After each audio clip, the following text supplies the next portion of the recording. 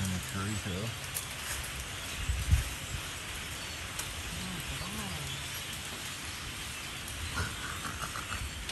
That's like a hell of a Oh my god. What is going on?